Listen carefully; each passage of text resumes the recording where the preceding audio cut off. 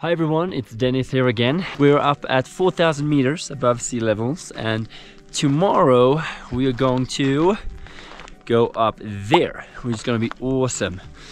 There's another 2,000 meters up, right? And uh, I think another lesson that I've got when I've been here is like to just yesterday we were at 3,000, went up to 4,600 and then back down to 3,900 and uh, you know, we were dead. We felt like there was no way we can do this. There's no way we can make it happen. But then now, for since we slept, uh, we are now at a stage where this feels normal. So we have we have adapted to the height, which is great.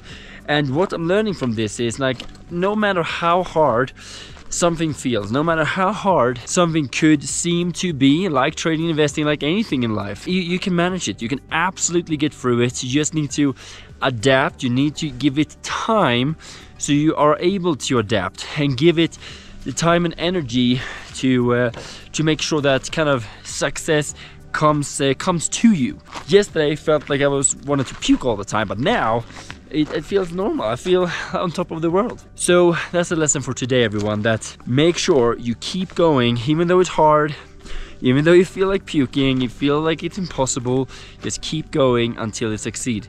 It's just around the corner. You just need to adapt even when it feels impossible and have the right people around you to do so to allow success to keep up to, to everything you're doing. And look at this, look at this incredible sunset that we're seeing. I mean, incredible.